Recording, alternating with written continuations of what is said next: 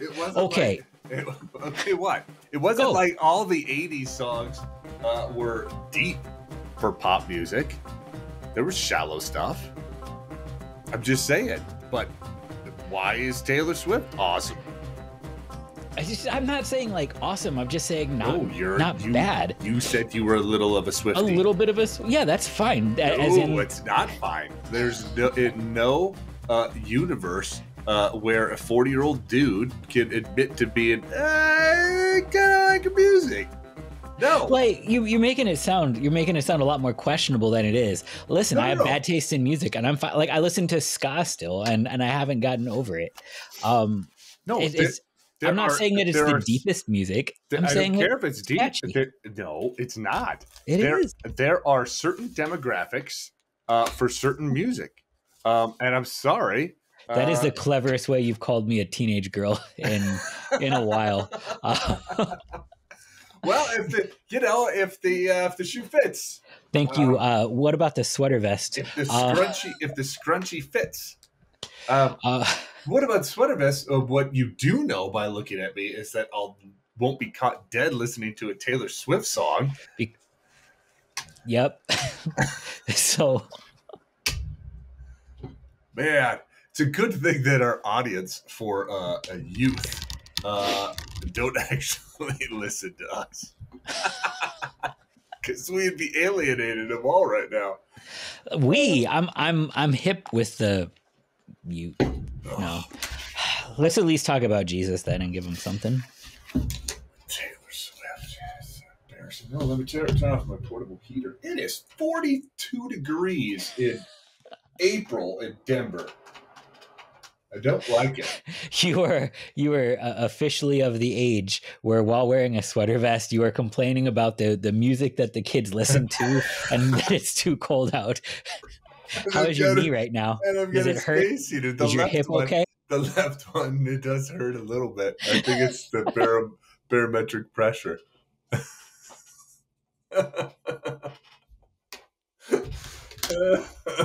Where do we leave off? Uh, we left off at a weird place. I realized that afterwards. There's just this little thing before it gets into a big thing, right? I think so. So uh, you, I don't know. You had said Mark eight twenty Two? Yeah, something like that. yeah. You wanna you wanna do 22, or you just wanna hop to to 27? Uh, no, twenty two is interesting. All right.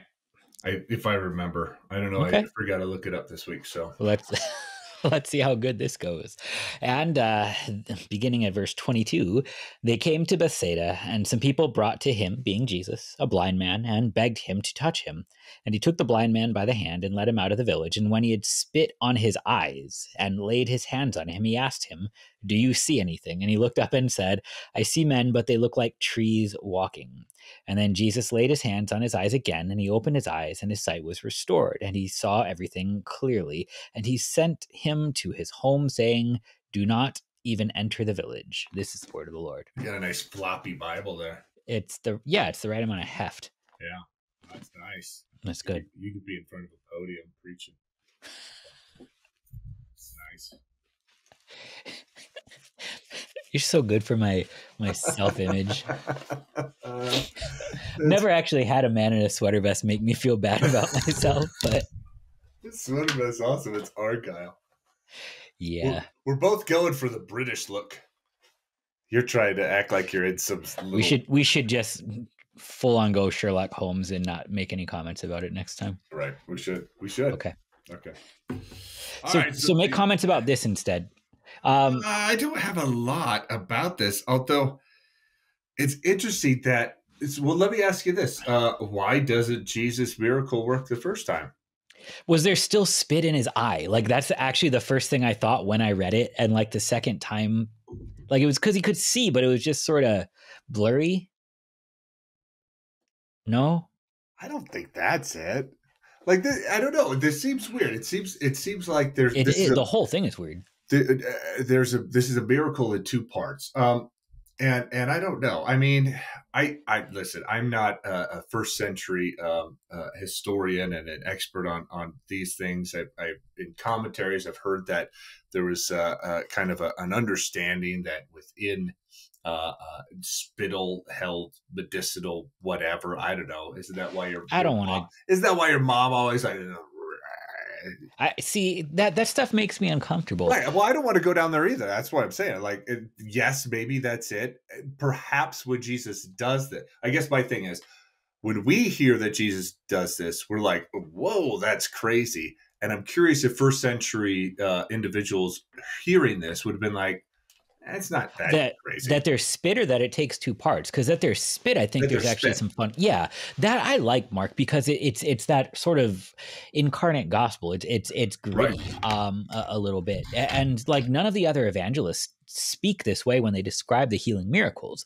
I'm okay with with Mark sort of approaching it this way and recognizing like something something uncomfortable is happening here. When God heals people, he doesn't just zap people out of the sky. First God works through means, but but second, God actually works through his creation. So so God became man to to save you from your sins. God became a part, the creator became a part of the created in order to redeem you through it.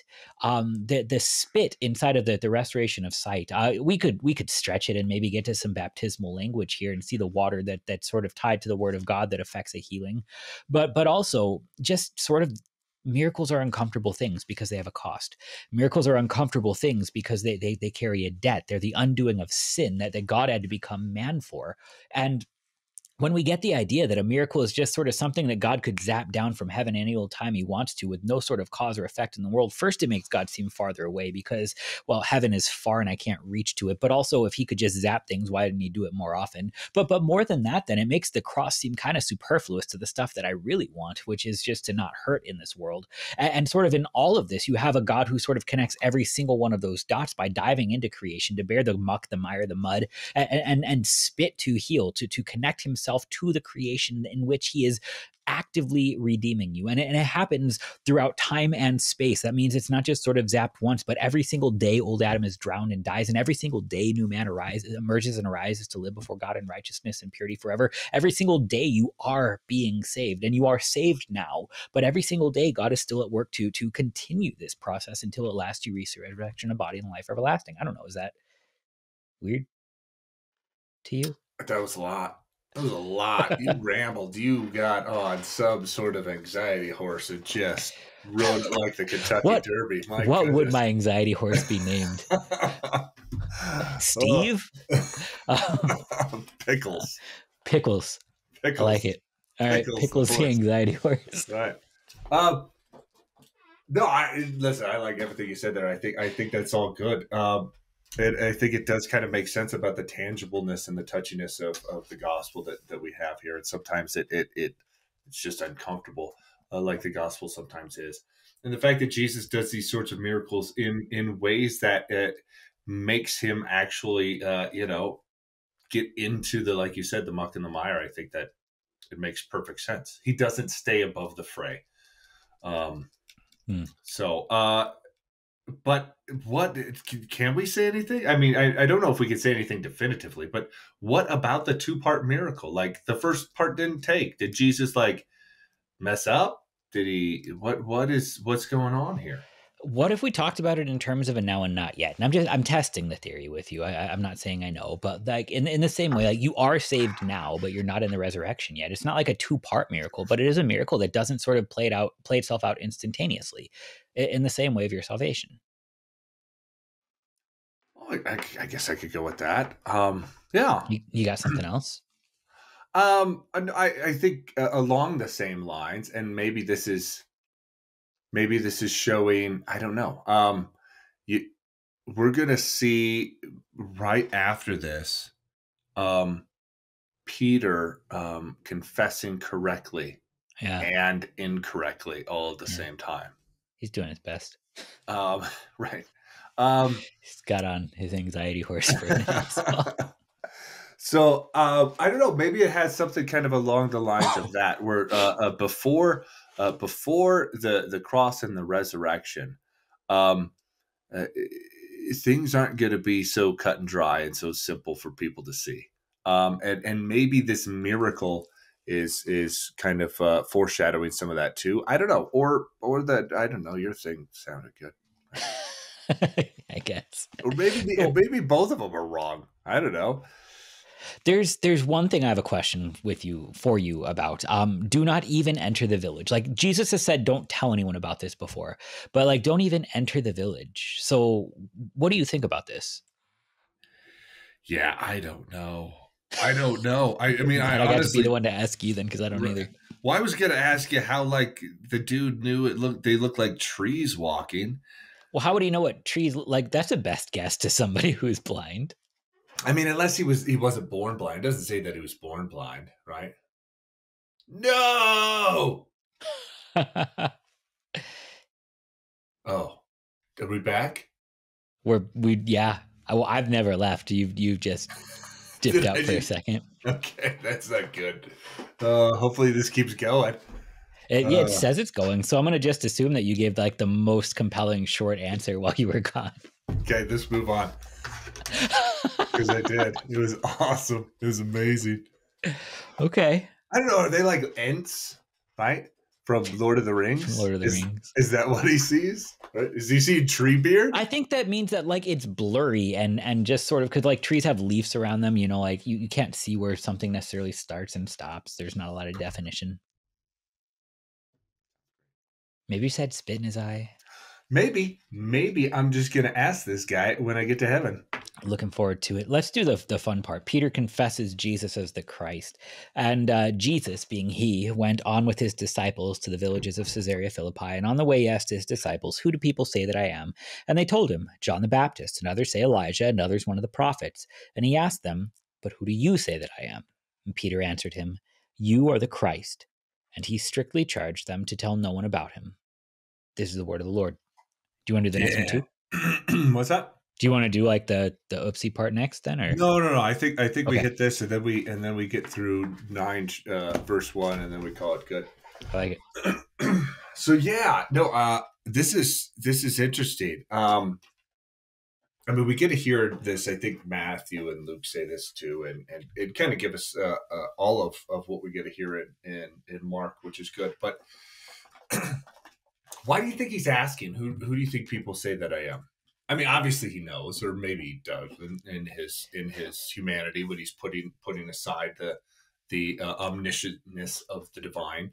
Um, but he, uh, even if that's the case, he certainly heard whisperings and rumors and, and, and all of this sort of stuff. So why why ask the apostles this question?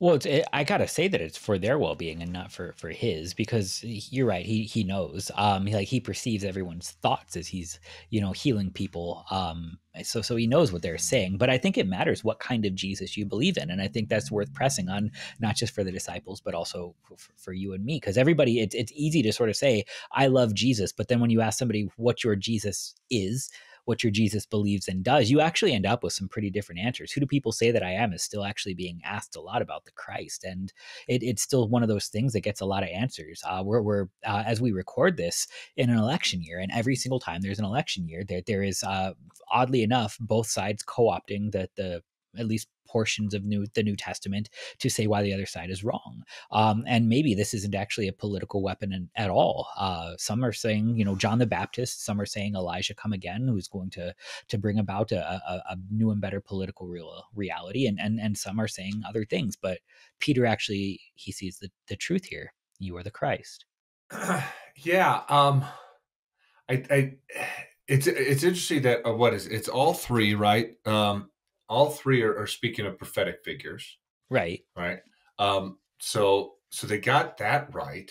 I mean, Jesus is prophet, prophet, priest, and king. So he is he is prophet in, in that in that regard. He's the, the last and final prophet, speaking of himself.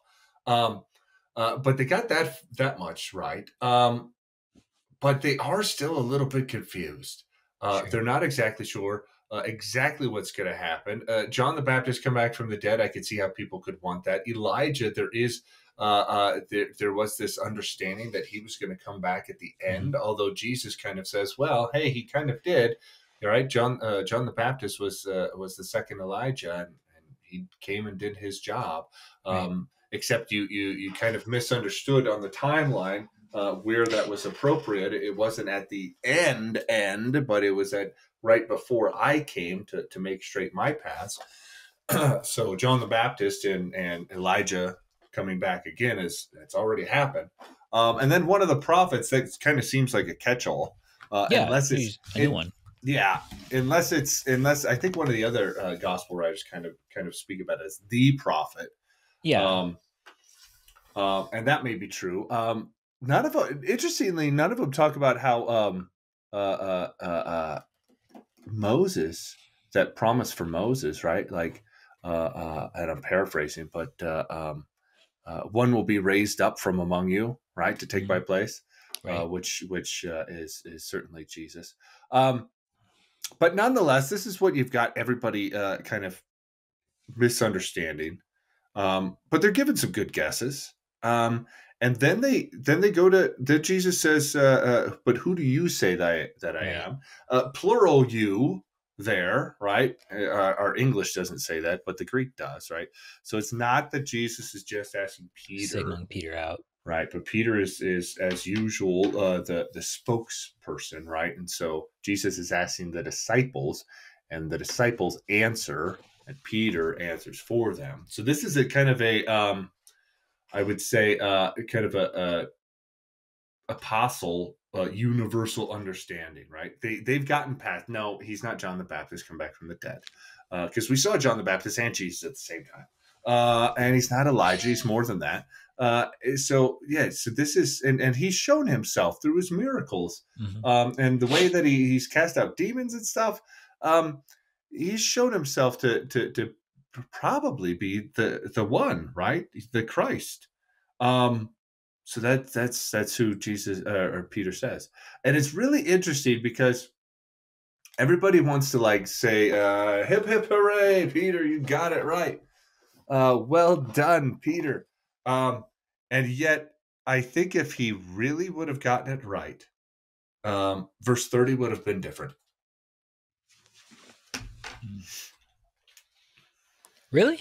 i think so i going. absolutely think so Okay, I want to hear it. because he has the right he has the right words Yeah. um, and uh, the wrong definition. It's the same. It's the same way that if you went up to a Mormon and you said, uh, "Do you believe in Jesus?" and they say, uh, "Yes, absolutely." Uh, no, uh, no Lutheran pastor would be like, "Hey, do me a favor, go tell people about Jesus." Right? We'd be like, "Oh, good. All right, go home, lock the doors, don't say a word to anybody." Right? Keep keep your Jesus to yourself, please. Right? and i think i think this is exactly what jesus is doing like you said he knows the hearts and minds of people peter said the right word he said the right term and in other gospel writer uh, uh, gospel writers uh, you get include the Son of the Living God. Yeah. right and you get jesus uh, kind of commending him Sure. saying, yes right uh, uh, blessed are you simon bar jonah right this has not been given to you by man but it's been given to you by the, the by god himself the father. Um, so good job. You you do have this right. And then but then immediately uh, you've got you've got this next section. So mark Sure. kind of just condenses it. He's trying to keep it very succinct for a very specific reason. Um, and and so here we've got you're the christ. Uh, don't tell anybody i'm the christ. You're gonna mess it up. Please don't See, I I, I was with you because I, I know somebody's going to mess it up, which is which is why, and I'm I, I'm willing to to sort of hear that. The other people that that could have would just be that anybody hearing it, hearing the Christ, isn't ready to hear that he's he's the Christ who dies and rises again for for the salvation of the world, but but rather he is the Christ who rides into Jerusalem to to drive out the the occupying government to to set up on earth a kingdom in which everybody will get their way even though they all disagree with each other Right, right, and and this is like the last time, minus the the transfiguration, because they don't have Right. a clue what the transfiguration means.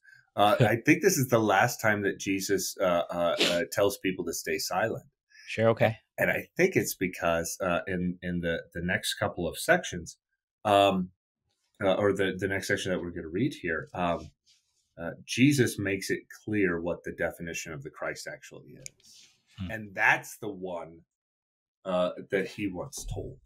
right right? He well, well, doesn't. not not even just told uh, ahead of time, but like the, the the death is not actually proclaimed publicly outside of the the preachers themselves until the resurrection can be proclaimed along with it, A- and that's that's sort of an important thing. That How do you mean? well, the the death of Jesus is is not actually important at all if he doesn't rise from the dead. Okay. Um, that that the death and resurrection of Jesus are not sort of two separate things, but this is one passion, one thing that that happens, and it, it's it's sort of one thing to sort of say that the, the Christ will be killed, uh, but but it's it's the public proclamation that that also attests to the resurrection that happened in historical time and space, on which our faith stands. Like this is not just sort of like, will you believe that he has the power to do it? You know, I I, I believe, and so we we can sort of uh, we we can we can actualize this vision that we have if we all just sort of cheer Jesus on, he'll come back from the tomb.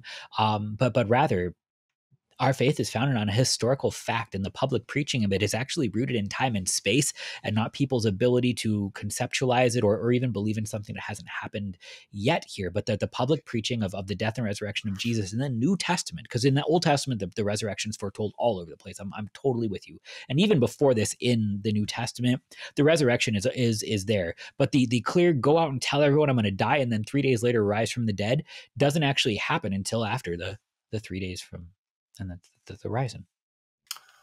Um, am I wrong? I could be wrong. Uh, well, I uh, probably explicitly, I think you're right. I mean, because this is at least from from Mark's point of view, I think this is the first. Uh, this is the first uh, um, passion uh, narrative uh, that we get, um, where where Jesus is very explicit about it. Although um, for those who have ears to hear, it's it's it's, it's still everywhere. it's still written all over yeah, the, the New Testament. Everywhere. It's written. It is his uh, conception, his birth, is is everything um, that that we get. Um, but that's that's I think the whole point. Uh, and maybe we could. Uh, uh, I'll stop rambling. You could read through through the rest of this, but um, maybe that's the whole point with what Jesus is doing here. Um, sure. That that uh, yeah, you got the you got the word right. Uh, you get the definition wrong. Yeah, so so let's talk about it. Um, so, and he, being Jesus, began to teach them that the Son of Man must suffer many things and be rejected by the elders and chief priests and scribes and be killed, and after three days rise again. And he said this plainly. And Peter took him aside and began to rebuke him.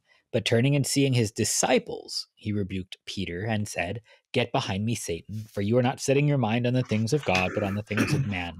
And calling the crowd to him with his disciples, he said to them, If anyone would come after me, let him deny himself and take up his cross and follow me. For whoever would save his life will lose it, but whoever loses his life for my sake and for the gospel's will save it. For what does it profit a man to gain the whole world but forfeit his soul? For what can a man gain, give in return for his soul? For whoever is ashamed of me and of my words in this adulterous and sinful generation, of him will the Son of Man also be ashamed when he comes in the glory of his Father with the holy angels. And he said to them, Truly I say to you, there are some standing here who will not taste death until they see the kingdom of God after it, it has come with power. This is the word of the Lord. Thanks be to God. There's a lot okay. that happens here. Yeah. And, and, it's all connected too. Like this is three different sermon texts in uh, the way the lectionary is typically divided up, but this is all one thing. Is it three different texts? It's at least two. Yeah, maybe I don't know. I guess the deny is is one. Uh, will die and, and get behind me, Satan is one, and take up your cross is another. Um, and and this is one sort of event. Yeah, and that does this uh, that one, the thirty four through the rest, does give a license for you to sing your favorite hymn, "Onward, Christian Soldiers." I hate it. no. No, okay, so but but like take up your cross and follow me it, it's connected to then the, like you can't just sort of say and sometimes you'll get parking tickets. Um, you're right right. No let's get into that because i made light of uh, of it and of you uh, and i regret making light of it um, but not of me. mm, right, well, yeah. Um, so uh, 31 through 33 um, is uh, uh, yeah okay so this is jesus finally actually saying uh, for the very first time. This is, very this is how the faith works. Yeah. This is this is who I am. Peter, uh, you said the right word, um, but I'm not going to let you say the right definition. I'm going to give you the definition of what the Christ means. Um, right. and the other gospels, the Son of the Living God, and all of this sort of stuff. I'm going to give you what that actually means, and you guys are going to. Uh, uh, this is what you're going to tell people. Nobody else. Nobody. What is Warren Graff want? Why, why is he trying to FaceTime audio be? That might be a mistake. Might that was a that was a pretty good name drop if it didn't happen though. that's, an, that's an old person thing. It's happening right there. He's trying to FaceTime audio me. Ugh. Later. Crap. Okay, so since he was one of the people that helped teach us this anyway, uh, what, what what would what would Graff say? What would Graff say about this? Um, it would be something very gospelly. Um, well, hold. Okay, so let me ask you this. Uh, obviously, it's uh, after he'll, he's going to be killed. After three days, he's going to be risen. And and and Peter here, I, I love the He takes issue with it. he does. I love the the audacity of Peter because it, I know that I'm just like that, right? Um, this is the guy who gets out of the boat when he never should have. This is the guy who just does all of these things when when it's just clear that he shouldn't have. And, and it's very easy for us, two thousand years afterwards, to point fingers and say, "Dumb, dumb Peter." Except Sure. except that I do just as many dumb things. and this is, I get it. So if my definition of Christ is going to be some sort of uh, messianic figure that is purely temporal and is going to kick out the Romans and reestablish uh, uh, and kind of fix the things within the Sanhedrin and reestablish this this good reign like King David did and King Solomon. King Solomon, that was the peaceful one, right? If Mhm. if if uh, if that's my Messiah, and then Jesus saying, um, "Yeah, but I'm gonna die. I'm gonna suffer a lot." Like uh, once he said, "I'm gonna suffer many things and I'm gonna die," I don't even hear the resurrection thing. Sure. I'm like, no, no, no, no, no. That Yeah, can't happen. That can't happen. And my curiosity is if Peter is taking taking Jesus aside and and rebuking him in such a way of saying, um, because because Jesus is explaining, no, this is it. Yeah. And I'm curious if Peter is thinking, oh, Jesus, Jesus is worried that this is going to happen, or this is the path that Jesus wants to take Okay. but a different path can be taken if he just understands it better. And that's the rebuking thing, right? It's like, no, no, no, no, no, you don't have to do this. Let's go this way. Let's go this way. But see, he also regards all of the disciples as if like everybody here is thinking the same thing, but Mhm. only Peter is the the fool. Oh, I'm sorry, Right. John the Baptist is FaceTime audioing me right now. I'm just also important, Elijah come back from the dead, huh? I guess. Um, still up to stuff. No, um, I, I think that uh that, that this really actually is a a believer who wants a different kind of God. And and again, this is a place where I, I can resonate because I'm pretty sure God is doing his job wrong most of the time. I don't get my way too. Um, and here you have all of the disciples struggling with this, but Peter being the one to say it.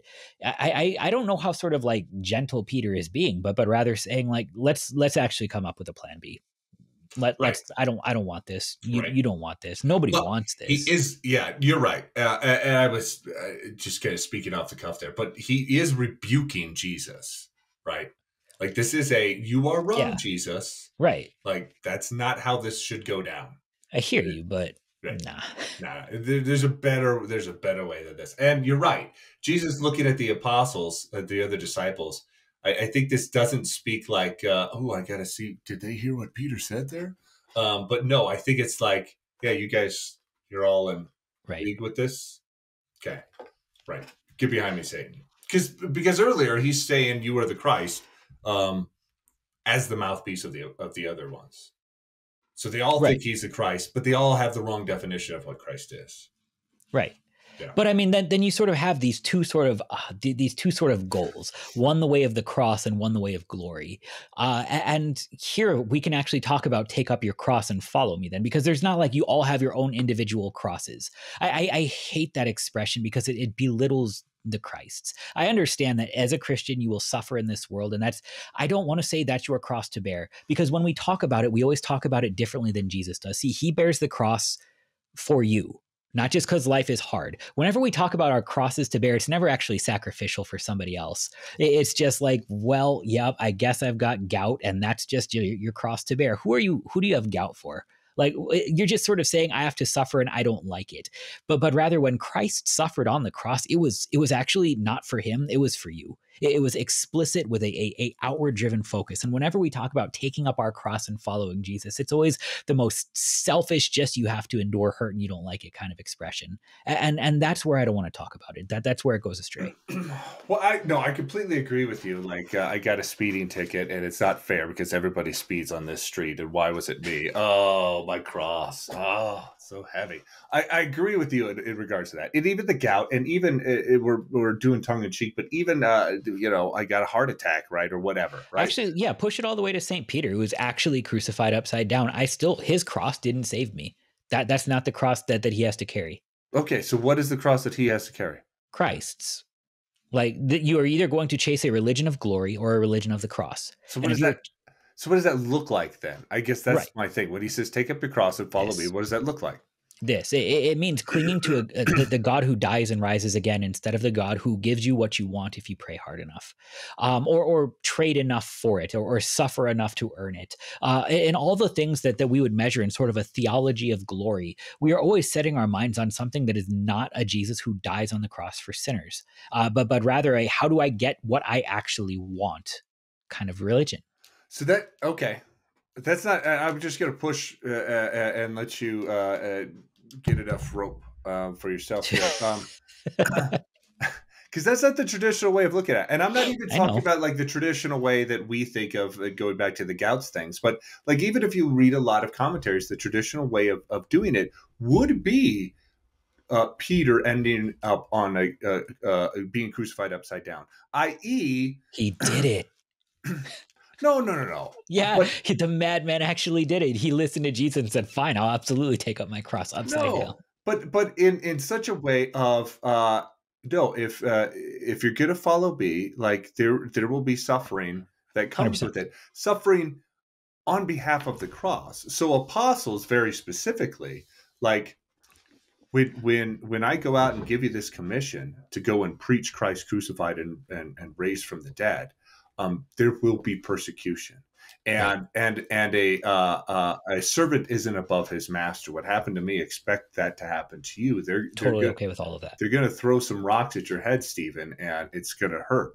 Um, could that be? I mean, this persecution for the sake of the cross. Could that be? So persecution for the sake of the gospel. I, I, I can, yeah, I, I, I, can get down with. Well, yeah, it, it is when it's for you. Right. Um, like without those words, it's it's not actually the gospel. Right. It's not. Uh, that that Jesus died doesn't help you. That Jesus died for you is everything. Um, and, and, so you, are right to to be near a, a God whose symbol is the cross. To to have a religion where the symbol is suffering. You're right. There's going to be suffering in this world. Yours is a God who works through suffering. So expect to suffer. If you think you can be a Christian with no suffering, you're, you're going to have a, a, real bad time. But when we talk about take up your cross and follow me, um, I, I, actually want this to be centered inside of vocation and not inside of and measured inside of pain. Because the, the thing that actually marked Peter uh, in his ministry as special, Stephen in his ministry as, as, as, as special, isn't that they were martyred, but rather that they preached the gospel to sinners. You know what I mean? Yeah. Like the, in the same way that the early church actually sought out martyrdom because they thought this was the holier way to die. Uh, that's not you're doing that wrong too because the the cross is not simply look at how bad Jesus can have it. Can you can you get into that ballpark? But but rather when Jesus died why did he do it? Who was it for? How is that that given? And that is the the part of the religion that that you are called to suffer for. Right and and there there's a very different thing. And and so i can get down with the, the commentaries that, that speak this way with the church fathers that speak this way. But what i cannot get down with is the way that it tends to be expressed by christians who have read them or heard those sermons and then sort of speak about any sort of painful situation in their life as taking up their cross because a cross is for your for the world for your neighbor. It, it's it's not a selfish thing. It's not just something that gets thrust upon you but it's rather something you willingly sacrifice for the good of your neighbor. Sure no, I'm. Oh, yep, good. I like it. Okay. I mean, yeah. I mean, just quasi heretical, not. not heretical. Not, not that's full. that's the outside of Christendom one. You know that, oh, right? Oh, wait, shoot. Uh, no. Heterodox. no, I, I listen. I, everything you said, I, I, like. I, I'm just giving you a, a, a little bit of ribbon because that isn't what you normally will hear. You will hear, and again, I'm not putting the, the, the gout thing in here. I'm, I'm putting in the um, I, I I'm bearing my cross. I'm a Christian, and I got made fun of at school because I'm a Christian, and that's part of the cross that I have to bear. I mean, are you denying that? Well, it, it, it depends. I think uh, in a lot of ways how you're receiving that. Is it, it, that the problem is your neighbor who made fun of you, or that you were bearing it for the sake of your neighbor who made fun of you? Because when we hung Jesus on the cross by our sins, he did not see us as the problem that had to be endured, but rather the people that had to be died for to save. Right. No, again, like, the, no, I like that. I'm I'm being ridiculed uh, uh, by the very people uh, who um, I should be proclaiming Jesus to. And so to take up your cross then and, and again it's so easy to make this a glory thing. So, you know, how can I how can I witness to them extra hard now so that I will really be taking or simply recognize that in this religion the one thing you want to carry all the way through is the cross of Christ.